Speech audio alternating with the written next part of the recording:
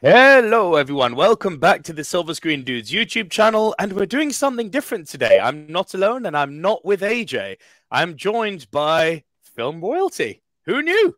I am joined today by Finn and Brook, directors of uh, Swede Caroline. And if you haven't heard of it, well, there's a review on the YouTube channel now. You definitely need to go get to see it. Spoiler, it's amazing. It's and I'm not just saying that because of present company. Gentlemen, welcome to the channel. Thank you for joining me. Thank you yeah, so we'll, much. We'll ask you afterwards what, what you really think of it. Eight out of ten, or is it? You'll have to watch the review. Um, guys, I've I'm gonna I'm just gonna fire straight in if you don't mind. I've got my my notes here. Um, when I finished watching this movie, I kind of I was laughing the whole way through, by the way, but I kind of sat back in my chair and in the best possible way, I was like, what the F have I just watched? and That's I wanted to know perfect response. Yeah. And I, I just wanted to know how did you come up with this idea? Because I've never seen anything like it. What what was the story behind the story? Uh, well, one of the one of the when I was when I was starting on on sort of the, this story. Obviously, I, would read an article about competitive big vegetable growers, and I was just fascinated. I saw these very like you know serious looking people stood with their giant vegetables, you know, and I was thinking like, wow, that that is there's there's something going on there. And I started researching and speaking to people in the scene, and uh, I then um, a mate's mum of mine was was working for a friend of hers who was a private detective taking mm-hmm. notes at a court court case, and she was working for. She, she didn't realize that she was working for someone who was on the FBI most wanted list, and she was oh, just God. like this very reg, very regular woman, just going to the courthouse every day. And I thought that is bananas, and I just and I love this. I know Finn's the same. It's like taking these big stories and putting them on little people, you know, normal people that we all know like finding themselves in the middle of, of something big. And I just thought that mm. this is a, just a great sort of marriage of those those kinds of, of stories. Um, a real and... a real reference for us was Burn After Reading, um, and you know that that nice. kind of scale of story, and and and you look at Brad Pitt's character in that, you know, someone who is just every day thrown into this scenario situation, just so much far bigger, far reaching than his I, little world. I'd forgotten how much we talked about burn after reading at the beginning. Yeah, we really did. burn after reading is a good one. Now, um, if I remember correctly from the poster, um, here we go. The Office meets Ben Wheatley's Sightseers. I'd kind of like to do one better on that because there was Ooh. this inescapable David Lynch vibe I got from this movie.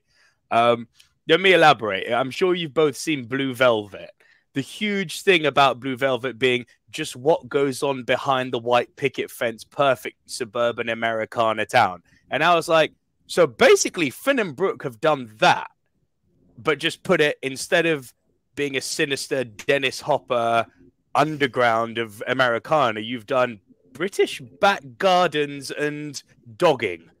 Again, well, that, that's exactly what the pitch was because basically this, the whole film was born out of yeah i i was watching a lot of american mockumentaries and yeah. um you know i'm a huge fan of christopher guest uh, i was loving all of the um, american vandal series on netflix and i was just desperate to tell on a sort of film scale uh, in a feature film format a mockumentary story that it was so truly british and that's mm. when i came to brook and i was like look we've got to do this uh, there was one person for the job, and it was Brook. His writing is just his his ability to capture, as we were referencing, that whole idea of taking a story and planting it in quintessential British sort of the British environment, but a world in which you can just find these characters that you connect with, know from your daily life, but also can totally laugh with.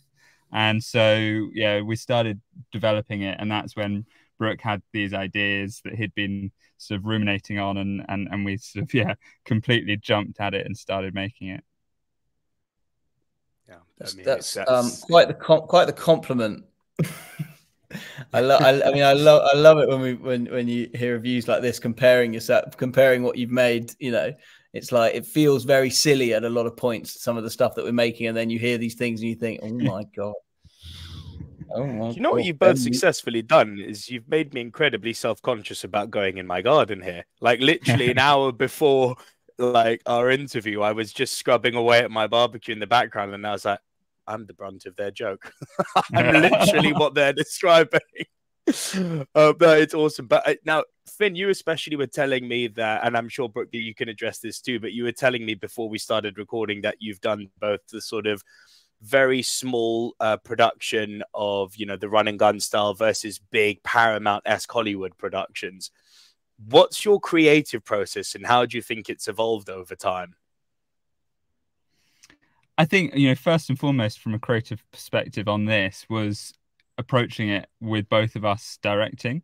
You know, co-directing is it's a hard thing to do, um, uh, and you know I think that those that do it really well, the, the sort of duos as kind of brothers that kind of think the same and all of that. So you know, it it was a daunting creative process going into it, but you know, as I've mentioned, you know, Brook is someone who I really respect him and his comedy um, comedic language. And so yeah it was it was a really exciting challenge to go into it um you know it was really important for us i think to finn's all right too. He's, he's all right as well.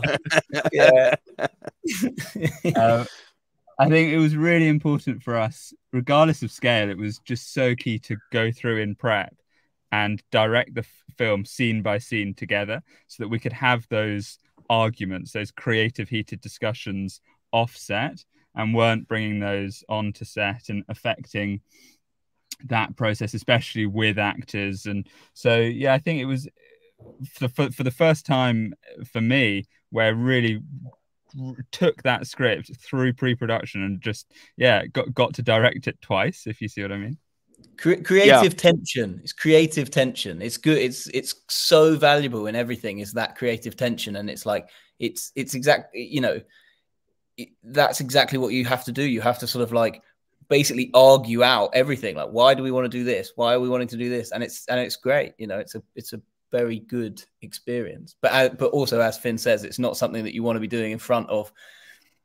the actors and the rest of the crew and everything. So you have to, when you get to set, you have to really you know, both both be so aligned because otherwise you'd get you'd be like, well, wait, why are we doing this? Why are you saying that? What do you, you know? Like we haven't discussed this.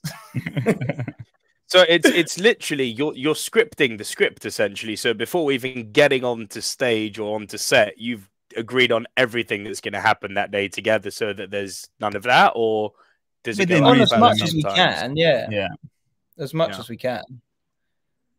Interesting. Um, now, you, you, Finn, you were referencing uh, Brook's creative comedic voice earlier. You obviously know this. A huge part of the mockumentary style, whether it be in the British or US office or pick any other mockumentary, what we do in the shadows noted for this too. It's very, very much the camera is such an intrinsic part of bringing that comedy to life, making it purposefully amateur, for lack of a better word. You know, you don't want those beautiful still panning and dolly shots. You don't want all the big robotics and animatronics helping you out to get a perfectly smooth shot. You want something that feels a bit stuttery and jittery. How much thought and prep actually goes into getting the camera eh, to work in a mockumentary the way it does? Because if anything, in my mind, it looks more difficult to get it to do that yeah ju- just as much as it does with massive crane shots and dolly tracking shots. Um you know it, it, the, the preparation is exactly the same in terms of creating that visual language. Um and um yeah we we we brook and i in development with then with in pre-production with joe um joe guy our dop and jack thompson roylance our b camera operator we created this marrow festo which was uh, what we kind of operated the camera department from. And you know, it's, it's so important because the camera became one of the characters in the film. Yep. And how how the cast reacted with each my other. My favorite character. My favorite character. it's you know just as important how they react with each other as it is how they are interacting with that camera. Yeah, and it's everything from you know the sort of the, those purposefully quick zooms to, to the degree that then what you're focusing on becomes out of focus. That becomes part of the comedic language, doesn't it? And I was like, yeah.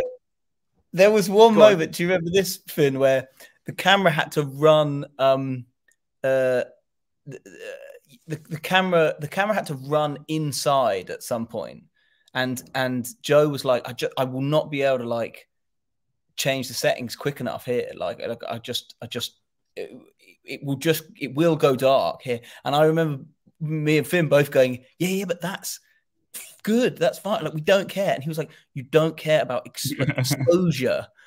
I was like, no, no, no. Because it was just that, that, thing of like, if it wants to feel real, it, it, like look real, it should be done real, you know. And it's like it should be the the cameraman racking racking his settings to try and like you know refined what he's what he's shooting and, and so there are a few moments like that where it's like the mistakes actually i think you know add to that feeling of like wait am i watching a 100% documentary here you know mm.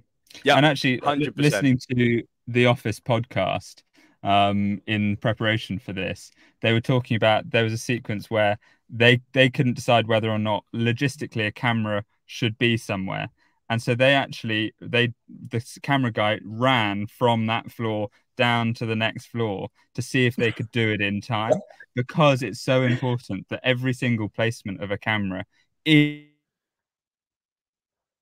oh. E. E is I'll, I'll finish what he said. Every single placement of a camera easy. That's what he was saying oh no, Finn's cut. Um, oh, we'll have to just leave what, him. Leave him. Is he for you? Is he Finn, just if there? you like can this? hear me, Finn, if you can hear me, what you need to do, mate, is you need to. Uh, I'm going to remove you from the stream. All you need to do is refresh your page and um and just come back in, and I'll readmit you. I'll pause pause the recording for the time being. I'll so jump on out, refresh your page. yeah, message him that just in case you can't hear it. Page. Uh, yeah, so go ahead and finish. What? Just go go again for what you were saying, Finn. Sorry. Uh, God, I can't actually remember can't what I was remember. saying. Did, did, did uh, but can't I think it was yeah, it was it's about the you know the choice of camera placements, camera lenses, you know where we were placing the camera just to make it entirely um sort of authentic and real in that documentary world. Yeah, and uh, look, so one of the things that you hear on all levels from filmmakers is how much real people they've met or know have influenced on some level characters in their movies. Who was your inspiration for Caroline and who is your inspiration for Willie? Because I need to meet them. Like Willie, I want I, who was this man? the Caroline was actually a, a, a woman that I very well. Um, a, a friend of my mother-in-law's who I was just like, you know, the, the starting point was very much like I think that there's quite a lot of male characters who are who are sort of given this this sort of role. Um, and I don't I hmm. don't find that there's many sort of like female like middle-aged comedy leads, you know, and and and and actually like I, I think that these these people in, in my life that they these these female characters are so massively part of like the funny parts of of my life and so it was very much like um you know originally i was i was the the character was going to be named after this this woman who I was who I was writing it about, and then and then the um and then Swede Caroline as a title came to my head, and I thought, oh no, I've got to call it that. I've got to call it that. um, but yeah, they of course, yeah, very much based on on you know people that you know because because that's where it all comes from, isn't it? Yeah, I mean, so much of it, what we have sort of brought into the script is pulled from yeah experiences, people we've come across, and I, I grew up going to these horticultural um, competitions, and so you know a, a lot of uh, what I yeah pulled from was that sort of experience of of seeing these growers and and yeah seeing this the, the seriousness of their competitive Amazing. growth so i think this movie is actually going to drive a lot of conversation about what it all means you just know that your Mark Kermodes of the world they're all going to be pulling this apart what would you say the most important themes and commentaries are in Swede Caroline? Wow. I know. Wow, what does it all mean? I what came prepared, boys. God, we didn't apparently. I mean, I think it's up to the audience, though, isn't it? You know, it's up to the audience. I think people will get different things from it. You know, I think fundamentally, like it's a Richard, who plays Paul, you know, was always describing it as like a non non rom com, and I think there is a nice like friendship in in at the sort of heart of it, um, and a, and a sort of quite unusual friendship. You know, it's it's not like you know, it's it's it's it's an unusual trio, but I think that it's a lovely a lovely friendship and actually a, a relationship that that I think a lot of people would recognize. Um, and I, I, think you know the audience will get what what they will from it, but that's that I think is the beating heart of it. Yeah, um, to, to, to me, it's it's companionship. It's a film about friendships and companionships and supporting your friends, no no matter how quirky, weird, and bonkers their missions in life are.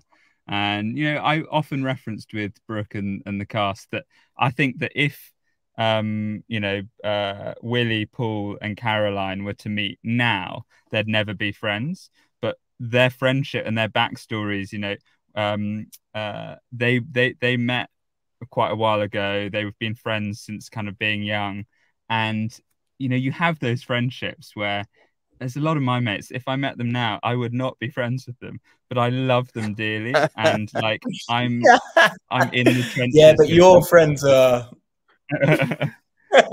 and so I think that it's a story of three odd characters that are so lovable, and it shows that yeah, there's always that sort of lovable charm about about everyone. Yeah, nice. I like that. I like that a lot. Well said. Um, what was the most challenging part of this production, and how did you overcome it? Work, working with him.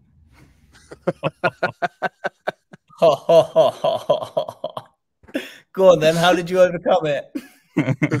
I haven't yet.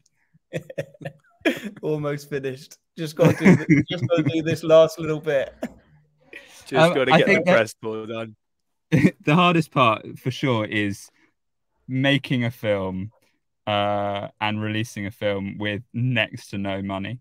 And you know, so many people do it in this UK indie space um, and it's so exciting to see it when people do do it.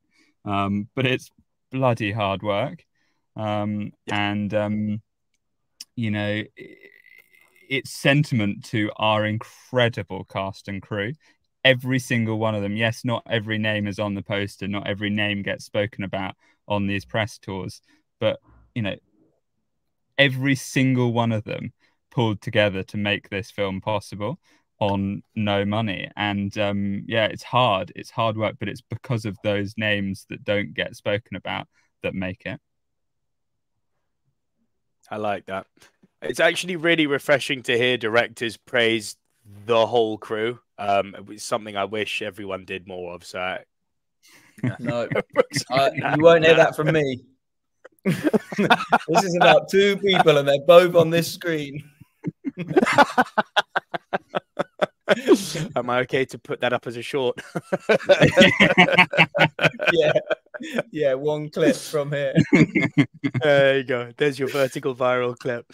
Um, yeah. they, so they do this a lot in GQ, guys, um, and I wanted to try and do the same with you both. What are some of your favorite movies, and maybe some movies that you think are less heard of that you think people absolutely have to watch? The standard at the moment is Willem Dafoe recently saying Onibaba for on the press tour of Poor Things? Um, what, what is a, a, random film that I watched when I first wanted to get into film was um, Paul Kaye's uh, "It's All Gone Pete Tong." it's oh, it's great. Know, a, a, a film that not a lot of people have seen, but I absolutely love it. I think yeah. there's such range from him as well. Like uh, he shows total and utter distress, losing it, but then also there's some hilarious comedic moments. Um, I think it's brilliant. That's a random one. Nice.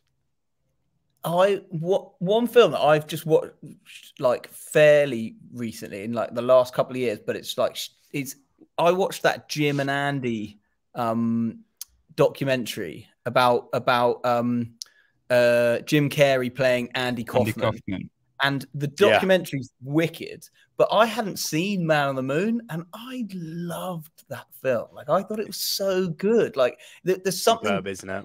I think it's, I, you know, when certain stories just connect with you, and I was just like, I didn't really know anything about Andy Kaufman, and like it sent me into this rabbit hole of like this person lived this life like this, where they were just like perpetual prankster, you know, and it's like. Yeah that sort of fringe comedy thing and trying to bring that to big screen I, I, I, loved it. I loved both the documentary and the and the film and the the the research that i ended up doing off the back of it you know? Um, so that would be my, my maybe my reference. That's a goodie man on the moon and uh, jim and andy Love that. Mm. And finally, guys, to finish off, can we get maybe a little insight into what your next project or projects might be, both uh, as a solo or as a duo? I'm currently writing a script about a man who sells 3D printed dick shaped chapsticks, which he calls Chaps Dicks. uh, so look out for that one. Finn. Wow. Uh, yeah, what I'm working on is far less uh, knee slapping than that. Um, but um, yeah, Be- Bellstone, my production company, we are looking to sort of move more into the releasing space. So yeah, we're looking at a lot of different films at the moment, some exciting opportunities, um, and um, uh, yeah, also just embracing the the fact that we've been given as storytellers this platform um, and i really it's something that i want to embrace moving forward is telling stories that leave the world feeling somewhat better you know really really positive um, uh, stories that can yeah help people progress through things so that's what we're looking towards doing at the moment well to that so end swede caroline has definitely reckon? done that You reckon you'll take on my dick shaped chapstick idea then? Listen, if that movie's not called uh, Rock Out with Your Stick Out, I don't know what to tell you. That's so good. Yeah. Guys, but it's. I, I, don't know how much we have to pay you for to license that now. I don't know what the rules uh, are. Just, get, just give me another interview, you'll be fine. Subscribe to the channel. That'll be more than enough. um,